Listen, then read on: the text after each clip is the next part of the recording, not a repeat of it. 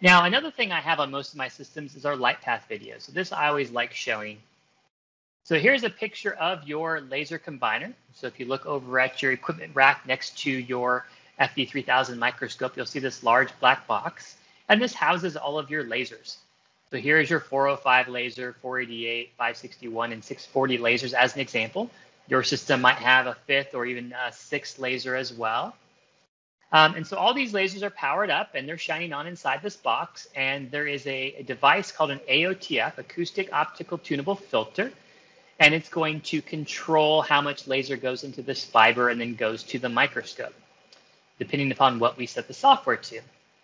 Now over inside the confocal scan unit on the back of the microscope, the first thing that's going to happen is those lasers are going to strike an excitation dichroic mirror here.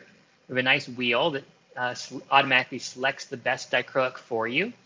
So these mirrors are going to reflect the laser to the sample, but allow all of the fluorescence emission to pass through the mirror and go to our detectors.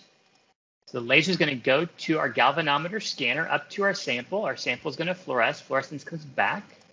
Here is our scanner. This is the, um, the scanning mirrors that function to raster the laser left to right, top to bottom across the sample to acquire the image.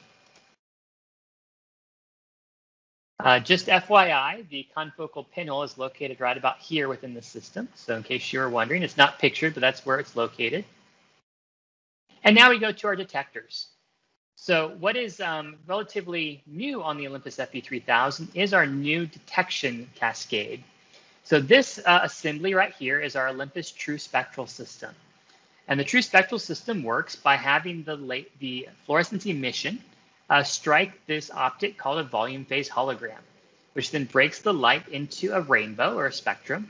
And this um, uh, lambda mirror here will then adjust where this spectrum is pointed towards our detector, our PMT, photomultiplier tube.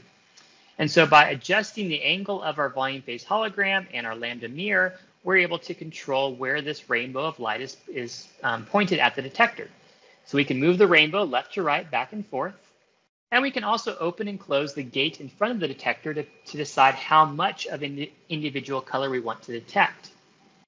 Now the system can be equipped with either two or four detectors.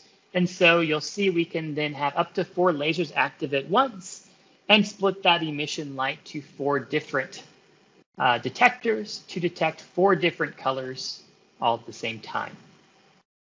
So that's what's going on inside of the system.